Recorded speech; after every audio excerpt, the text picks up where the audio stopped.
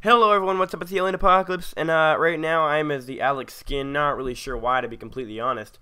I was just kind of hanging on the Hypixel server, and all of a sudden I get teleported to what they call Limbo. You are in Limbo.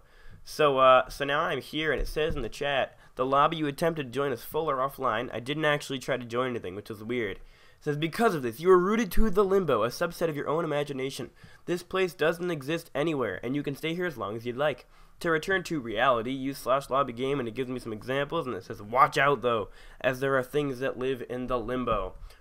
I don't know what this is, and I, I know that if I log out of Hypixel right now, I'm going to go to the normal lobby. But this is pretty cool. I don't know if anyone else has ever experienced this. I can probably guarantee they have. But I thought I'd make this really quick video on it because it looks pretty interesting. And uh, it's just this nice little house. There's a staircase. Can go up here, and it's, it's actually in the end. You can tell by kind of like the walls here. Or the, uh, the space voidness. But yeah, I mean, that's all there is. You can't get out. There's no, like, doors or anything. I can't open them. But uh, it's just weird. I'm in limbo right now. It's so bizarre. I don't. There's bedrock and stuff. It's it's weird, man. I'm telling you.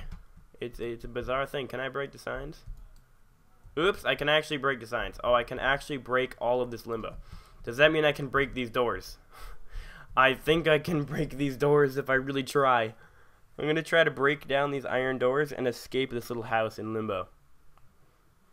Because this is pretty awesome.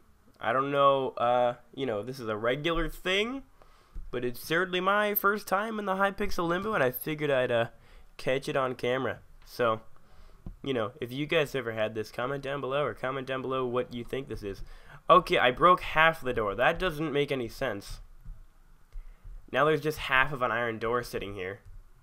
So I'm going to break that too. And then we'll explore the outside limbo a little bit. I wonder what happens if I die well, in limbo. I, said, I don't think it's meant to happen. limbo and crafted blocks said hacks. That's how. Huh? I said, what do you mean? Um. Wait, what'd you say? I said, I'm here with AJ, by the way. I said, how do you get into limbo? And this kid said, hacks. That's how. I'm gonna say my friend is in it, and he didn't hack. it's just weird. I mean, I've never seen it before. What limbo? What's limbo, and how do you get there?